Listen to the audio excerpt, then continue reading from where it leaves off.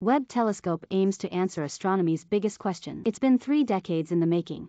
The largest and most powerful telescope ever to be launched into space is finally ready to take up its orbit and beam back new clues to the origins of the universe and Earth-like planets beyond our solar system. NASA's James Webb Space Telescope, named for a former director of the American Space Agency, follows in the footsteps of the legendary Hubble, but intends to show humans what the universe looked like even closer to its birth nearly 14 billion years ago. All that power is needed to detect the weak glow emitted billions of years ago by the very first galaxies to exist and the first stars being formed. This telescope is designed to answer the biggest questions in astronomy today, NASA astrophysicist Amber Straughn said in a 2017 TED Talk. It is so large that it had to be folded in order to fit into the Ariane 5 rocket that will carry it to its orbit.